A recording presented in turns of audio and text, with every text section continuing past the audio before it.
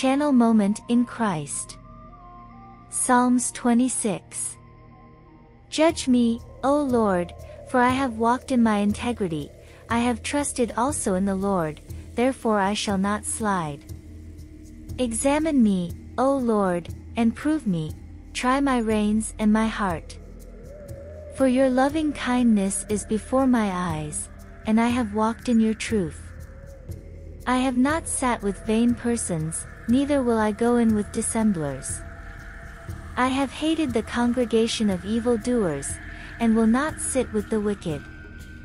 I will wash my hands in innocence, so will I compass your altar, O Lord. That I may publish with the voice of thanksgiving, and tell of all your wondrous works. Lord, I have loved the habitation of your house, and the place where your honor dwells. Gather not my soul with sinners, nor my life with bloody men. In whose hands is mischief, and their right hand is full of bribes. But as for me, I will walk in my integrity, redeem me, and be merciful to me. My foot stands in an even place, in the congregations will I bless the Lord. Psalms 27 The Lord is my light and my salvation, whom shall I fear? The Lord is the strength of my life, of whom shall I be afraid? When the wicked, even my enemies and my foes, came on me to eat up my flesh, they stumbled and fell. Though an host should encamp against me, my heart shall not fear, though war should rise against me, in this will I be confident. One thing have I desired of the Lord, that will I seek after, that I may dwell in the house of the Lord all the days of my life, to behold the beauty of the Lord, and to inquire in his temple.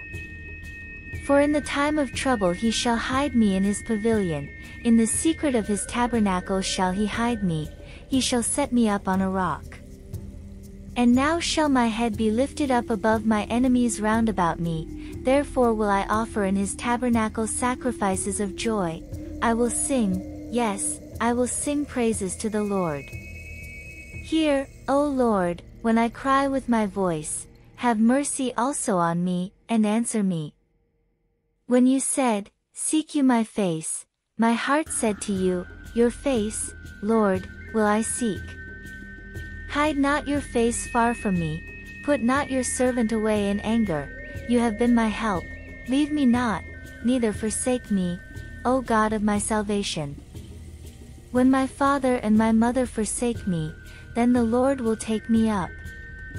Teach me your way, O Lord, and lead me in a plain path, because of my enemies.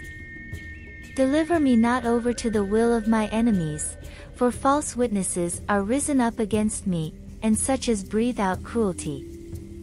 I had fainted, unless I had believed to see the goodness of the Lord in the land of the living. Wait on the Lord, be of good courage, and he shall strengthen your heart. Wait, I say, on the Lord. Subscribe to the channel and leave your like.